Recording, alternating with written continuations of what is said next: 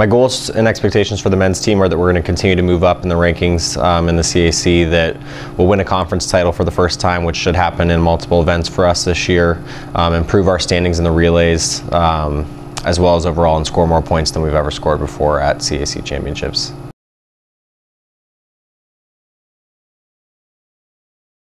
Getting to go head to head against everybody in the conference at least once has let us kind of see what our competition is and given us an opportunity to race people that we're going to be racing in B and A finals at championships.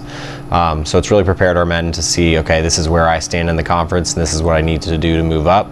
Um, we've also had some great Division Two and Division One competition this year, especially at the Franklin Marshall Invite. Um, that's helped us kind of compete at an elite level and getting to swim at Franklin and Marshall Invitational over three days has showed us what it's going to be like when we get to CACs to have to race in the morning, race in the afternoon, um, repeatedly day after day and see that we can still swim fast even when we're tired on that last day.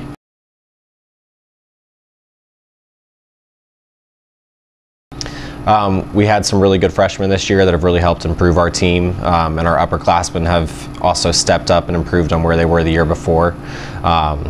and we're just deeper all around on the men's side, which has made us a lot more competitive and and able to hang with teams we weren't able to hang with last year.